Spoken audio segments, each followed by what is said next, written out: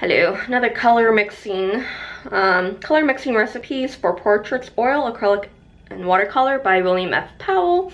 So you got basic mixes. Um, so, um,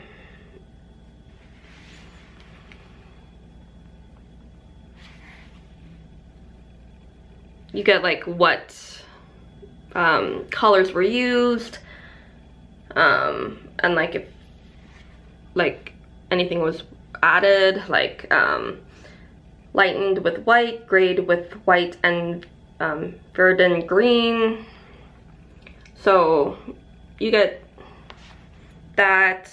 Um,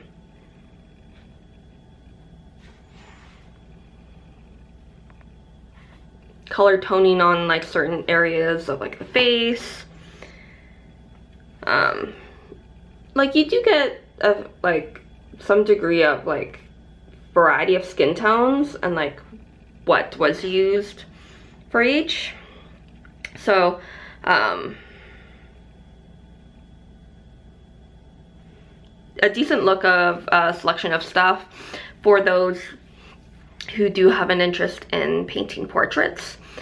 And um, so a decent um, on-hand guide um, as a reference of like, oh, for like this shade, I would use like these colors and if I want to go like lighter or darker, like um, I would mix it with this.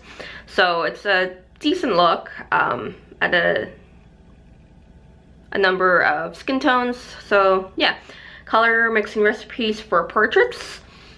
Happy readings.